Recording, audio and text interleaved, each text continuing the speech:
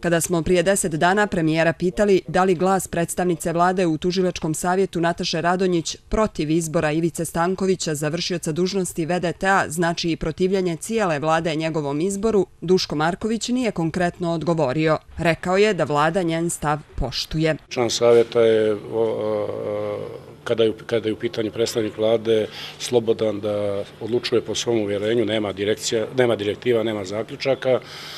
U svakom slučaju poštojemo takav pristup gospodjice Radonjić. Iako premijer tvrdi da nije bilo direktiva, u resoru pravde kažu da je stavo izboru Stankovića usaglašen sa ministrom Zoranom Pažinom. Kazala je gostujući u našoj večerašnjoj emisiji Načisto generalna direktorica direktorata za pravosuđe u tom ministarstvu Marijana Laković-Drašković rijetko kad polemišemo nekim pitanjima, možda je to nekome čudno, ali nama je to... To je čudno premijeru zato što je on rekao da ona misli svojom glavom jer se niko nije. Zaista...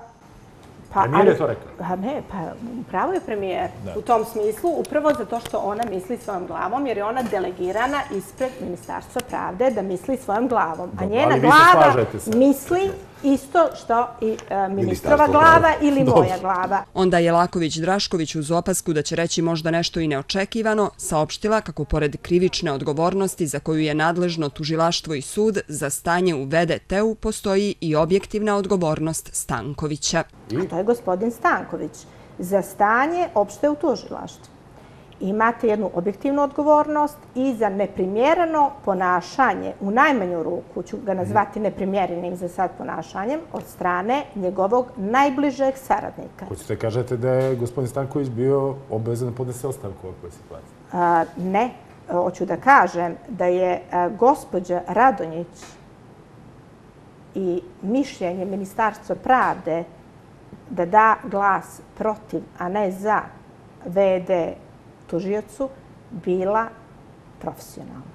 Ja vam kažem kako smo mi postupili kao ministarstvo pravde. Vi ste mislili da je on trebalo dobro? predstavnika, naravno.